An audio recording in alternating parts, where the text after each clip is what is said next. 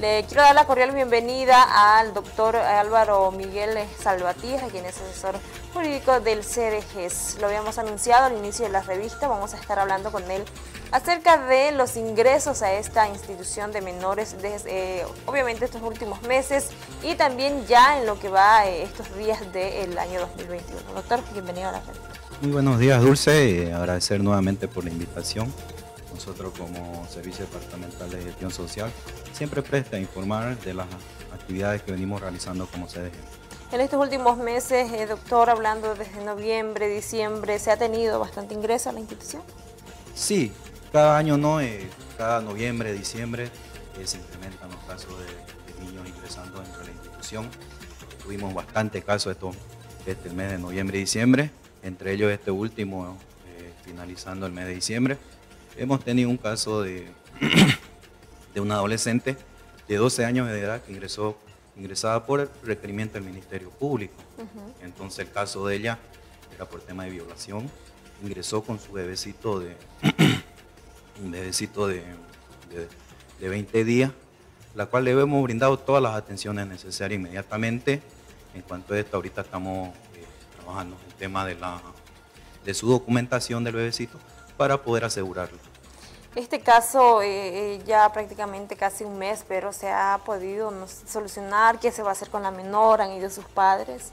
Sí, mire, este, se han apersonado sus padres. Nosotros estamos en el tema ahorita de que hemos puesto a conocimiento a la autoridad jurisdiccional, ¿no? en este caso al juez de porvenir, porque es la jurisdicción de allá que la han ingresado el Ministerio Público y por el momento ya va a permanecer allá. Nosotros le estamos brindando todas las atenciones necesarias en cuanto al adolescente, así como al bebecito. ¿no? Desde el primer momento que ha ingresado, eh, le hemos brindado todas las atenciones médicas, así como también este, está recibiendo las atenciones terapéuticas, las atenciones eh, psicológicas, porque como decimos, ¿no? es una niña cuidando de otro niño. Exacto. ¿E, e, ¿El bebé sería producto de la, de la, violación? Sí, según indican, nosotros la verdad desconocemos el caso porque nosotros eh, brindamos la atención es a, a la víctima, en este caso al adolescente y al bebecito, ¿no? Que lleva el caso el, el Ministerio Público y la Defensoría de la Niña y Adolescencia. Bueno, si bien este es uno de los casos, doctor, pero ¿cuáles serían los otros casos que se dan eh, con mayor frecuencia? ¿Por qué ingresan los menores a esta institución? Mire, este 2021, eh, estamos en dos semanas recién de este año nuevo, y ya hemos tenido eh, siete, hemos tenido siete casos de niños que han ingresado, nos la ha ingresado la Defensoría acá del municipio de, de Cobija, niñitos de, de 2 a 9 años de edad, la cual por el descuido de los padres, dice que los padres se encontraban en estado de ebriedad, entonces este, le ingresó la Defensoría, ya se ha movilizado el equipo de la Defensoría, se lo ha entregado nuevamente a los padres, pero me imagino mediante un acta de compromiso, ¿no? Por si vuelve a suceder la situación, ellos van a también ser sancionados. ¿Cómo estamos en el tema de infraestructura de acá, hablando del CDGS, doctor? Mire, del CDG, la infraestructura, eh, estos últimos años, como sabemos, se han, eh, se han implementado dos nuevas infraestructuras, ¿no? Sala de bebecitos, sala para adolescentes, para los adolescentes mayores, eh, perdón, este, los adolescentes varones. Entonces, tema de infraestructura, aquí en el hogar del CDG estamos bien. Eh, lo que tenemos un poco de dificultades en la infraestructura de allá del Centro para Adolescentes con Responsabilidad Penal, ya que hemos tenido una reunión con las autoridades, ¿no? Eh, nos han observado unas cosas de, las infraestructuras mismas que nosotros también ya habíamos mencionado y también ya hemos, habíamos requerido para que puedan ser este, mejoradas estas observaciones de nosotros mismos. Entonces hemos tenido una reunión tanto con la gobernadora, hemos tenido con todas las instancias que tienen que ver con la temática policía, defensoría del pueblo, eh, eh, defensoría de la niñez, entonces eh, a tocar temas de la infraestructura. Se, han comprometido, ¿no? Para poder, sabemos temas de presupuesto también que eso implica para este 2021, para inyectar presupuesto y poder este, mejorar. Por supuesto que sí. actualmente, ¿cómo está el Centro para Menores Infractores en el tema de, policías, quienes son los que se, se encargan de, respaldar ahí? Precisamente eso hemos tenido también reunión con el comandante, eh, le hemos indicado que por la cantidad que se han incrementado también de adolescentes con responsabilidad penal allá en el centro, eh, hemos solicitado que se incremente por lo menos uno o dos más policías de turno, ¿no? que hacen turno. Entonces, eh, él ha cedido, hay un policía más, a más de lo que había antes, Entonces, es para la seguridad externa de allá del centro, ¿no? Aquí igual manera, este, con la gobernación, hemos solicitado eh, de seguridad interna, como la ley establece, un, eh, civil que tenga y estamos ahorita eh, trabajando con estos adolescentes. ¿Cuántos menores infractores se encuentran allá? Y hablando del el tema, perdón, el tema de, recursos humanos, de, profesionales que tienen que estar también en este lugar.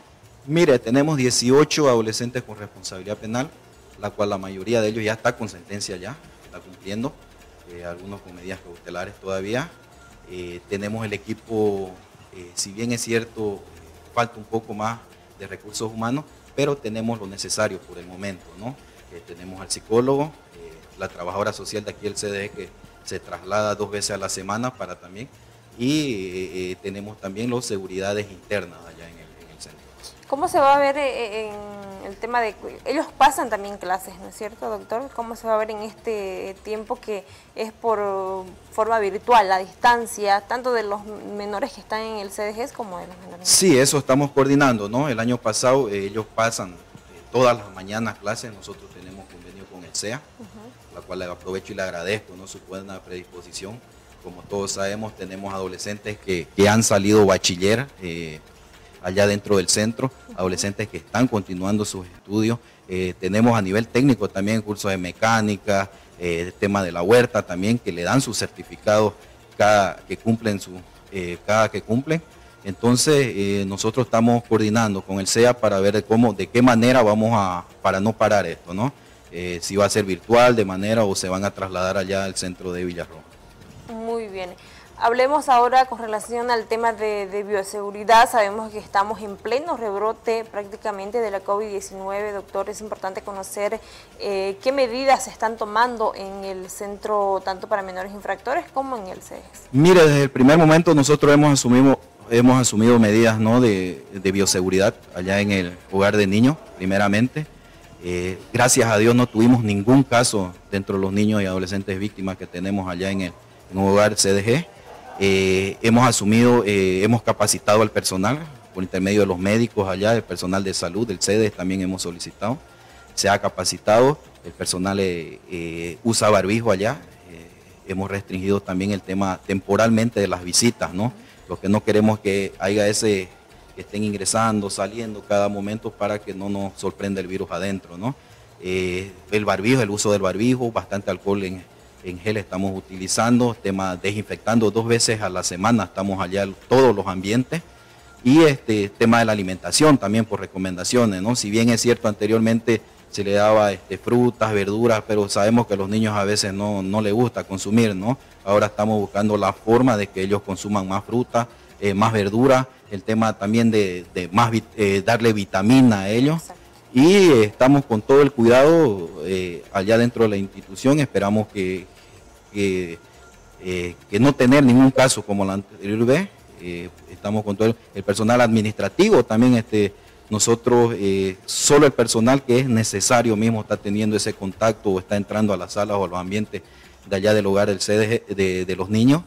Eh, nosotros, el personal administrativo, nosotros no podemos entrar más allá de la puerta eh, que se encuentra en el exterior para evitar ese, para evitar que entran, estar entrando y saliendo, ¿no? Para que no nos coja o de sorpresa este, este virus.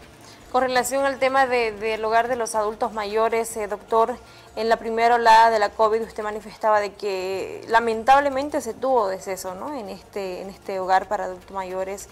Ahora, ¿cómo se está trabajando para poder evitar eso? De igual manera, ¿no? Lamentablemente hemos tenido, si no me equivoco, cinco bajas allá en el hogar adulto mayor. Eh, que lamentamos, la verdad. Se ha trabajado de igual manera que en el hogar de niños de igual manera que en, el centro de adolescentes con responsabilidad penal, pero sabemos que es un virus, este virus es invisible, que nosotros no tampoco, y la verdad este, tuvimos cinco, cinco bajas que lamentamos, pero de todas maneras estamos también con el mismo cuidado eh, que estamos llevando acá con el hogar de niños, también todas las medidas de seguridad, de protección estamos dentro del centro, esperemos esta vez no tener ninguna pérdida, ¿no? ¿Cómo estamos en el tema del área legal, eh, doctor? Eh, ¿Cómo se está trabajando para que niños que están en este hogar puedan retornar a sus hogares con su familia? De la misma forma, el tema de, los menores eh, infractores se tiene quizás para este año? ¿Van a salir con alguna medida? Mira, la situación legal, el 90% de los niños que entran como víctimas ya dentro de la institución tienen familiares. lo que más permanencia, su duración de permanencia es máximo tres meses allá y nuevamente son reinsertados a su núcleo familiar, ¿no? Bajo siempre la supervisión, ya sea de la Defensoría o del equipo del juzgado, de aquí del CDG mismo. Eh, nosotros siempre, si bien es cierto, tenemos unos cinco o seis nomás casos de, niños que ya están ya más de cinco, seis, siete años dentro de la institución, la cual los demás este, ingresan y van nuevamente egresando ¿no? a sus núcleos familiares. En los casos de adolescentes con responsabilidad penal, eh, eh, nosotros siempre trabajando, esperando que se cumpla sus medidas, esperando que se cumpla su, sanción de ellos, para que ellos también puedan este, ir trabajando con ellos, ¿no? Para poder reinsertarlo a ellos nuevamente a la sociedad y que ellos no vuelvan a cometer delitos acá afuera y nuevamente nos los estén ingresando allá dentro del centro. Con mayor frecuencia, ¿cuáles son o por qué son eh, los motivos por los que ingresan estos jóvenes? Mire, los, eh, mayormente los motivos para que ellos estén allá en el centro son eh, que han cometido delitos de gravedad mismo, ¿no? En este caso, asesinato, violación. Eh, la ley mismo establece no penas mayores de, 15 años que ellos van a estar privados de su libertad. Entonces allá tenemos adolescentes que han cometido asesinato, violación, robo agravado, entonces ellos están allá dentro del centro y nosotros siempre buscando a ellos este, readaptarlo dentro acá de la sociedad, ¿no? Eh, hacerlo cambiar esa mentalidad de ellos de, querer delinquir, de cometer este, delitos acá afuera y que ellos puedan salir y ser personas de bien. La verdad tenemos resultados, ¿no? Eh, muchos casos, son muy pocos los casos de que nuevamente vuelvan a ser reincidentes o ingresar nuevamente allá al centro. Los que entran son adolescentes nuevos y nosotros tratamos de trabajar con ellos. Pero también se sigue proceso a otros jóvenes que quizás no están en el centro de, menores infractores, pero están con, algún con algún de... Sí, allá eh, no solamente con los que están privados de libertad, que están allá en el centro, ¿no? sino también tenemos acá más de 60, 70 adolescentes que se le está haciendo el seguimiento. Si bien es cierto, no le, se le ha aplicado la medida privativa de libertad, pero se le ha aplicado otras medidas a ellos que están en libertad, pero están así, este, le están haciendo el seguimiento del equipo multidisciplinario de, la institución para que ellos puedan cumplir sus medidas. Muy bien, doctor. Le agradecemos eh, por estar acá en la revista para poder informar acerca de todo el trabajo que vienen realizando eh, como institución. Muchísimas gracias. Muchísimas gracias a usted. ¿eh?